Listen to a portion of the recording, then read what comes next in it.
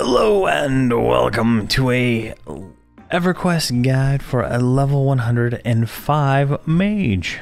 Now, this might not make a lot of sense. so, uh, I'm to add this this video with my other 105 videos when those come out. Uh, but what I've done in the future, so spoilers, in the Holdredge Crusade, I added a mage uh, when they were around uh, 110. They're uh, like one uh, 111 now, so kind of doesn't make sense, but whatever. Uh, just if you're following both series of this, these guides and all that, that's just kind of where we're at. Uh, but so for what we're gonna do is go through this and uh, kind of talk about how I have been playing the mage for the last five levels because I heroic boosted it this character to uh, 100 so I could skip the early game. So uh, I have extended target set up here with uh, all four characters, right? So Holdredge is always one, so that's my tank, my enchanter, my druid, and now my uh, mage, and then X target 5 is the assist target. So all the macros are based around whatever is the X target 5 is what we attack. And we can kind of go through the spells, right? I have a twin cast, remorseless servant. So twin cast is uh, pretty basic. It allows, allows us to uh, twin cast a spell that does damage, right? Uh, if we'll just cast it twice, so you get uh, double the damage. Pretty nice. Remor remorseless servant uh, summons a little pet that will attack the target. You see here, right? Should pop out. There he is. Little pet, he'll attack the target. It's uh, it's just a swarm pet. used to get like multiple, but they, they've like reduced the number of mobs and increased the damage. Uh, Storm of Many. So of many being the line of spell, right? And this does more damage based on the number of mobs attacking a target, right? So uh, pets, that is, uh, not just mobs. So between one and two, it'll do. Uh, let's see here. 4800 with one 20s 20000 with three to six and 3600 for uh or 36000 for seven or more. Now that is that is you know it's hard to hit that many right? You need to be in like a situation where you're having lots of pets so i have swarm pets that i can summon. Uh, that's kind of where that kind of goes in. So i have one plus my pet there. And then uh, there's some other aas that will also throw pets on there. Plus i have uh, the enchanter pet. And uh, i think that's it. So it, the damage varies right? And then i have uh, fickle uh, configuration here. Strikes your target with elemental fire, focusing or causing 15,000 damage, and increases the damage of your next spell. So uh, for a brief period of time, which then is a Spear of the Molten Shield Stone. So this does just a big nuke. Does 26,000 uh, damage, right? Just click it. You know, we got 61 out of it for that. So if we do uh, so reuse on that. Three few seconds. Okay, so fickle configuration. We get this one minute to proc thing right here. There we go. And don't even see the damage. Must have resisted it. Let's try again here. Come on. There we go. 197,000 critical with that flick, uh, fickle configuration thing. So these kind of build on each other in a way. Uh, then I have Summon Blazing Orb, which summons this item right here. Uh, Blazing Orb, which is a right click, 3000 damage. So it's just in my uh, multi-bind for everything. Uh, then I have Coronal Skin, which is a damage shield that gets added on to the tank, right? So I have a I have a button that will uh, summon the orb, cast the. And it used to be called Infernal Flames, uh, and then cast that, and it just does that. So it'll cast it on my tank. I was currently not set because I I, I relogged uh, and I lost my UI, so I had to rebuild all this right before the video. Uh, I don't know why did, Camp Desktop didn't save anything, but it didn't. Uh, then we have uh, Ice Flame Armaments. This is just a pet buff. Uh, seems to increase some kind of damage. I don't know. I just cast it. It's a pet buff. Um, doesn't say how much or anything like that, but it looks like they have to hit the pet, and uh, and it grants a chance to hit the, hit them with uh, ice attack. I don't know. I haven't figured it out yet. I'm still fresh to this uh, this character. Then I have a mass summon mod rod, which summons this mod rod right here, which is the level, I guess, this one. Take 3,000 health into 2,900 mana.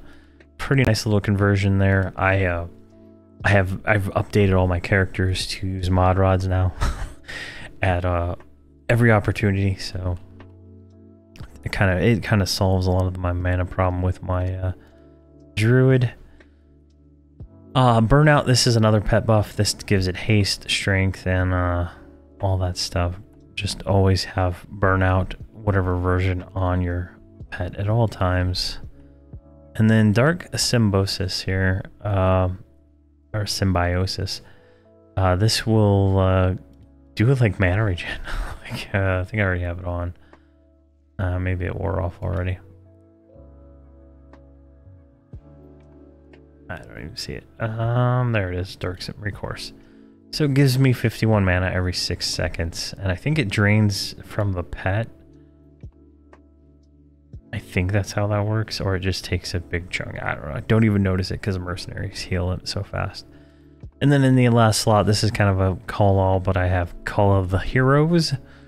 This is the group summon uh, Call the Hero, right? I can stand right here. All my characters are like right over there. And if it ever comes off, there they go. They're all... Now they're going crazy. There we go. They resolved. they had to run in circles to figure out where uh, where he was because of the auto follow. Yeah, you can kind of see here with models on on him. All right, um, let's see. That's all the spells I cast. I have a separate set for uh, magic, but uh, I'm not sure it's gonna load correctly, and it it hasn't been updated. But you swap. I just swap out uh, these three spells for magic-based versions of them. And if we look in like the spell book, like uh, book like 60, no, that still wasn't it. so many pages in these books these days. Uh, let's see here. Remorseless Servant. Yeah, Dark Steel. No, that's not it. Uh, maybe that's it. Maybe that cast Mallow and uh, Dark Steel. I'm, I wouldn't cast that. Uh, yeah, Shock and Dark Steel. It's a 10,000 nuke, whereas uh, these are a little bit higher. Uh, if that's the right level. But we just hit 105, so we're going to get all new spells. And I'll worry about that now. Right now, I'm only fighting stuff that I can do damage to with fire. Um, and I'm, I'm actually doing TOV content with this character. And if I can pull up a log parser here in a second, I'll uh, show some of his damage at 105 versus 1, 115 uh, mob. All right, hot bars hotbars are kind of universal across all my characters, but I got a hide corpse macro, just hides all corpses and auto inventories. Uh, I got an assist macro, so this is uh, this is the basic assist. Uh, X target five is always my group main main group's assist, right? So my paladin, whatever he's targeting, I will always attack that. I'll pet attack it, I'll pet swarm it. I'll use item giant modulation shard. Hopefully I spelt these right. I just remade them like a few seconds ago. Uh, and then use item one of uh, Pelagritic, uh, Pelagric Transvergence. Uh, those are the two mod rods I have right now. I have just the summon rod mod rods uh, macro here. It'll just uh, cast those, but uh, I don't know why it failed there. Yeah, duplicate lore items not allowed. Uh, I already have, so uh, for the burns, I have just about everything here. I have Spire of the Elements, Thaumaturge's Focus. These all increase my damage. I'm not going to show each one of them. Uh, Companion's Necessity is a little bit different. Uh, see if I can find it. Can activate. uh, right here. So this summons a pet that will, it's 105, it'll distract the target and it kind of does an area taunt. So it kind of takes a little bit of the pressure off my, my tank, right? It, it won't get healed by the mercenaries. It kind of just does what it does. so this is kind of nice. Uh, just throw it out there and uh, take some of the pressure off of my tank on named mobs. And usually that's the only thing I burn on. Improved twin cast, just another twin cast opportunity. 18 spells for two minutes. Uh, you just want to get as many of those out there as you can. And I save this one for burns. I use the other one in my rotation. Just whenever it's up, it's up. You know, I don't really care. Uh, Focus Arcanum, which is right here, improves the resist modifier by uh, 1 to 50 points. So it's just like another Tash or Malo kind of thing. And then in burn two, I have force, uh, force focus rejuvenation. I think it's actually forceful. I sort of I wrote it down wrong. It just refreshes all the stuff I have going on here. I don't. It's eh, it is what it is. It'll refresh everything but twin, twin cast. It looks like. So if there's something on cooldown, it'll refresh it. Silent casting lowers my hate. Uh, Heart of Skyfire is another damaging spell. Increases my damage by 85 to 135%. Reduces the hatred. Increases damage by criticals. So just all around nice little spell to just activate. And then Shield of the Elements. Uh, so this heals me and this uh, does heal over time. So I kind of activate this for the sake of, uh, well, it's kind of absorb on it too, but you know, while I'm burning, just in case something happens and I take damage, this will kind of just be there and, uh, you know, help me out for that one minute and uh, however long this lasts, right? And then in the burn 3 button, I have Glyph of Ultimate Power, which I don't actually have yet. Which is just a, you know, huge damage increase uh, glyph that uh, typically raiders use, but it's uh, you know useful. uh, I, I don't think I've touched on it in any of the uh, videos yet, but these glyphs are very strong and they can uh, change the battle. Right? I think dragon scales. Yeah, this one makes you pretty much like god tier. You can take anything. So, uh, when we get this and when we fight uh, like certain, like say Zendikar for the first time, right? I'm gonna pop a glyph of uh, of uh, dragon scales and then ultimate power on everybody else, right? So we can, you know, five minutes of pretty much vulnerability. I should be able to kill the mob if I can get enough damage out, right? And then intensity of the resolute is just another burn. If it uh, works, it works. I don't really care, uh, typically. Uh, see here. I have a debuff button. I've moved all my characters to a single debuff button. So this guy does X target 5, so targets the assist, pet attack, uh, wind of Malleus, and then he does Malleus. So wind of Malleus is AoE, Malleus is single target. So if, uh, if, you know, like one of them doesn't work, the other one is going to work, right? So try to get at that on everything I can. Uh, just to make things a little bit easier for him. One, if the if the resistor debuffed, you know he's going to be able to land spells. Uh, then I showed my short duration spell uh, right here. These are just, you know, damage shield on the tank, resummons my orb, resummons my mod rod, auto inventory. I can't do multiple auto inventory because there's just not enough room. Uh, but I have auto inventory in his uh, actual uh, uh, multi-bind. Uh, see here, follow, standard follow, X target one, stand follow, invite. Uh, then I have my transportation things. I have nothing here. if I had anything there, I can't remember what it was. Uh, but I lost all, like, every, I logged him in and everything was blank. So, uh, so here's my multi-bind, right? So here we see my assist button, which is, uh, you know, exterior 5 and all that, right? Um, so I cast Twin Cast, I cast Remorse, Remorseless Servant, uh, Storm, uh, Storm of Many, and then I have all these AA activations, right? Turn summon, if it's a summon mob, it'll get an extra nuke. Servant of Ro, Second Wind, Host of Elements, Force of Elements, Dimensional Shield, Arcane Whisper. then it goes into Fickle Configuration, uh, Spear of Molten Shieldstone, uh, that Blazing Orb that we summon every once in a while, Auto Inventory anything, and then Frenzy Burnout to make the pet do more damage, right? Uh, most of the AAs, right? So they're like all like maybe five to ten minute reuse, right? So this is a turn element five, five, five minute reuse, but it does 140,000 damage to a, a summoned, right? And having that just like, if it happens, it happens. That's nice, right? I do the same thing on my paladin with an undead one. Uh, Servant Ro summons a 106 pet that will go and attack for uh, 60 seconds. So once this is out, right? That's that's that gives me what three pets? Remo remorseless, my normal pet, plus this, so I'm at three. So keep that in mind. Uh, it does a ton of damage. it's just a good good all around pet. Uh, then second wind here, so places a guard on the uh, pet, right? This is just I didn't know where else to put it, kind of thing. Uh, if the pet, you know, drops drops any health, right, he's gonna, you know, not die.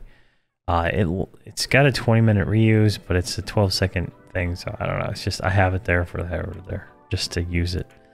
Otherwise, I wouldn't use it. then we have Host of Elements, which summons three more pets. So now we're at six. we have six pets that are active on the mob, and this is a 10 minute reuse. Uh, you know, you'd probably maybe want to use this for a named, but I like what I'm doing right now. I just do this. Like I, I, I think when I get to 125, I'll optimize, you know, all this stuff to be more concise. But right now, I just use every ability I can when I can.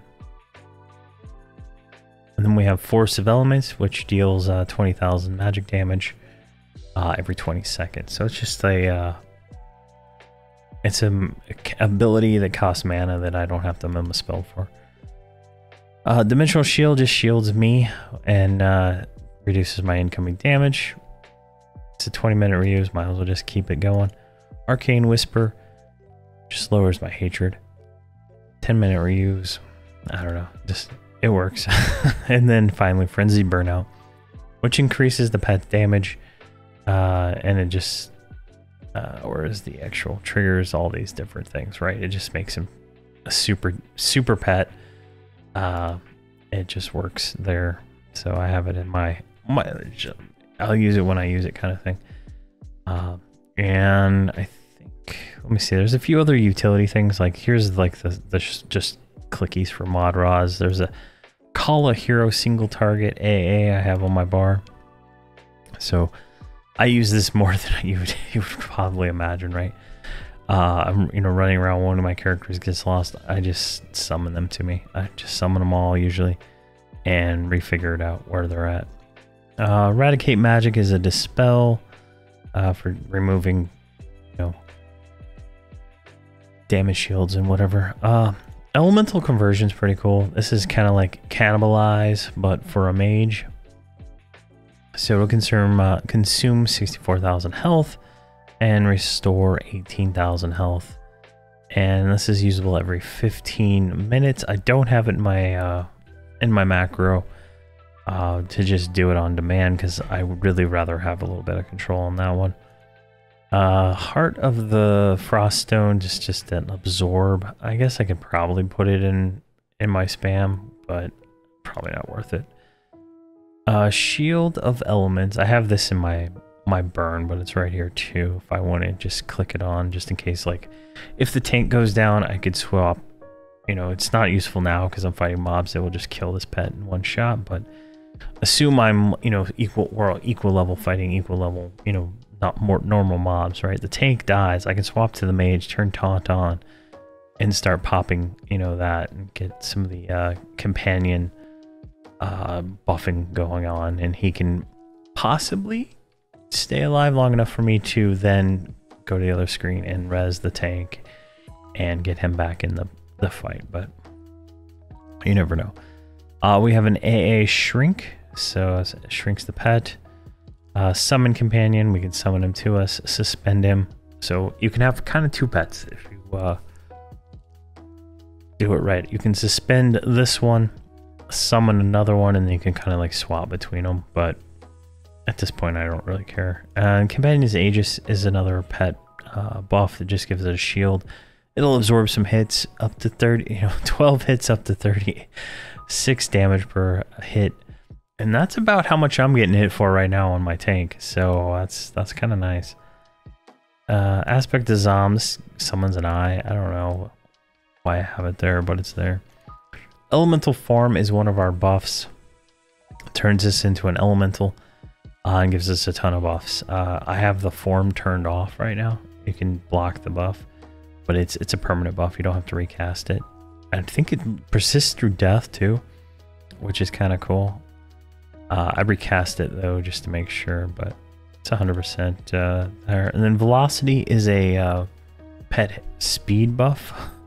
Uh, it's not going to land on him right now because he's got something better.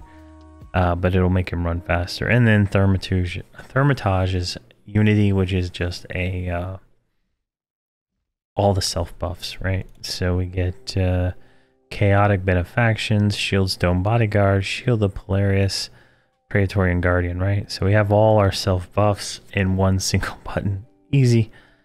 Uh, easy, easy. And then over here I have Group Perfected invisibility, group perfected invisibility to undead, and perfected in levitation, and then staunch recovery and expedient recovery. All right, that is all the abilities and stuff there. Let me pull up my log bars real quick. All right, so here is some logs from earlier today. I was uh, in Eastern Waste doing the mercenary quest with uh, my my group, right? Now, this is a 104. I believe at this level he's 104. A 104 um, mage against a level. They're yellow to 111, so I don't, I don't whatever that is, right? 112, 113, 114, something like that. That is insane. uh, that is absolutely insane. Obviously, the paladin does more because they're all undead, but uh, it's pretty crazy. Uh, if we look at a lot of these, right? Let's just pick a different one. Uh, what about this one? All right, here's see another one. He's third place again, 54,000 DPS. Uh, let's go up here. Corrupted Giant, 50, 67,000 DPS, right? Cold Skeleton, that's not us. Some other group. I guess I ran by them. There we go. Uh, 68,000 against a Re Restless Kaldane. Now, earlier, earlier this morning, I did, I did, uh, the uh, darkness, uh, darkness howls mission, right? So here we go. Here's a, here's a parse. Uh, random dark fist mob, right? I did, this was, he was probably like 103 at this time and he's doing 67,000 DPS against the level 111 mob at 10 what 103 104 right? So definitely great. And it's not even capturing his pet damage right here so another 14,000 DPS would be attributed to him. If it was actually working right. Uh here's another one. 54,000 DPS if we go if we go up even further, right? Uh, I guess this is the 24. Here's an Iron Sentinel. So this is a named mob in the uh in uh over there. Uh it's level like 110. No, this is it's yellow or so. Uh, let's say it's 113. Let's I don't know. But as you can see here, this is at when he was at like level 101, level 102. He's doing 30,000 DPS to this to this thing without even trying. Uh, obviously, all the rest of the DPS is low. I was fighting a, a wild rhino at the exact same time, and the enchanter kept uh, breaking the mez because I had a typo in her macro. Uh, but uh, yeah, you can kind of just see his DPS is a very solid with the way I'm running him right now. Uh, I think I can, you know, there's potential to get higher, right? Uh, there's always potential to get more, but he's just not going to get there right now because he's not doesn't have the level. Uh, nor does he have any focus items. So that's another thing that's kind of important, right? So DPS is there, but there are focus items that are good, right? Um, like the arms, I believe, fire-based damage right there is really good. Um, there's another focus that's really good too. Magic base, you know. Um, range. Uh, I don't even have a click on my robe, so I don't have my robe macroed. Um, like if we look at like say the ma the enchanter's conflagrant robe, right? He doesn't have a conflagrant robe yet, uh, but you see here's like it, they have a focuses on him now that do damage. so there, you know, he's missing some of that from being a heroic character. He has no augs or anything like that either. He is uh, he is fresh. he's very fresh. So there is potential for him to increase a lot over the time. And uh, right now he has the best ADPS I can give him with the bar or the, the bard, but the uh, the enchanter and the druid. They uh, they are some of the best classes for buffing mage damage, wizard damage also, but in this case mage.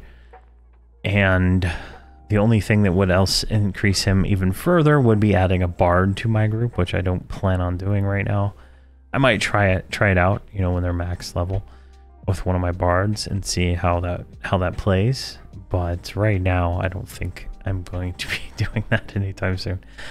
Uh, and maybe we'll see how personas work out, but um, definitely kind of like he's solid. He's 105 fighting, you know, things that are completely red to him. Like he would die instantly if he gets hit and uh, he does die instantly getting hit if you watch some of the videos. Uh, but for the most part, he's uh, he's doing enough damage that he is doing. I would say he's he's gonna be like if we bring this back in right, like the last mob we are fighting, we're fighting these uh, ghouls and that's not us. Uh, yeah, like this. We're fighting this undead, right? And so this top one, the top DPS, is the rogue mercenary. Um, but she got a huge damage increase going from one 110 to 111. And I think I think Gnomeregard here is going to probably triple that damage. So I think when he gets to 111, he's going to be doing 120 plus K. Easy. Easy without even thinking about it. Like on normal mobs. I think that's where he's going to be going to be at. And then on burns he's going to be even higher. Right? So that's just my thought. Uh i am actually probably going to drop the mercenary uh melee just to bring in another healer uh because some of these mobs hit pretty hard so it's going to be interesting to see how that goes but that is how I play a mage. Uh, that is how I'm boxing a mage with my group.